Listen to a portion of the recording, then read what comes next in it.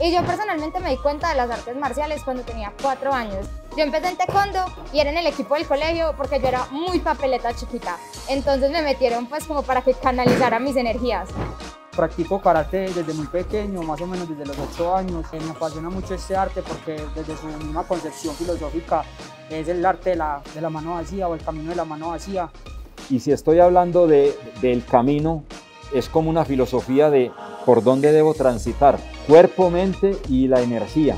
O sea que lo que dice Karate Do, que es el camino, es como un, como un servicio a mí mismo, a la humanidad.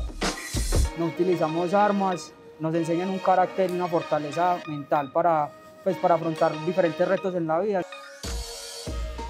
Eh, yo entro al karate como todos los niños de esa época mía que veíamos las películas de Bruce Lee, las películas del gran jefe, de los karatecas, esas que mostraban en la, en, la, en la pantalla grande.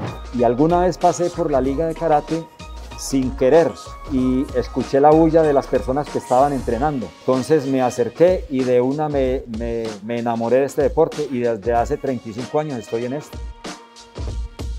Es un arte que forma un carácter en la persona, un carácter de rectitud, honestidad y fortaleza. Me ayuda a vivir el día cotidiano, a ser más responsable con mi estudio. El karate estuvo para mí cuando estuve en mis malos momentos y lo sigue estando en mis buenos momentos y me sigue formando como persona.